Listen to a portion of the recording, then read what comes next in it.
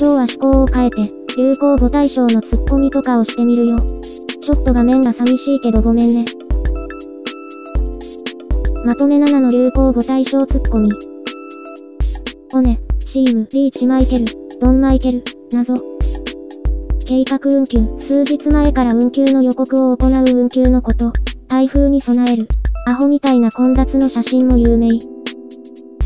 軽減税率、持ち帰り食品、8%、それ以外、10%の消費税のこと。イートイン脱税というのもやり玉に挙げられる。スマイリングシンデレラ、渋子、シンデレラ、シンデラー、謎。KUTOO、METOO 運動のパクリの靴宣伝。待て。ペイ、いわゆるなんちゃらペイ。使える場所と使えない場所の差が激しくて使い出がよろしくない。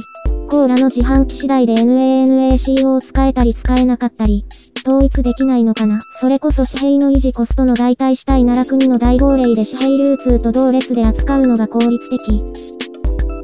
免許返納、判断能力が低下した高齢者に対する免許を返してくれという呼びかけ。いいんだけど、地方の移動はどうするの？闇営業、個人事業主の直営業のこと。会社に抜かれまくるぐらいなら、と還元に乗った結果、知らずに犯罪者集団の会合に参加したのがスキャンダルになった。